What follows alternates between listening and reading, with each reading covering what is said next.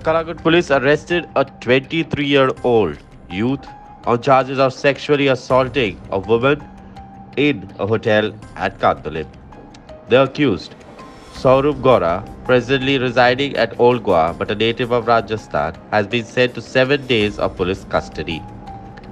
According to the police, the victim, along with her friend, had gone to a hotel in Candolim last Sunday. The accused allegedly raped the victim on the intervening night of Sunday and Monday, the police said.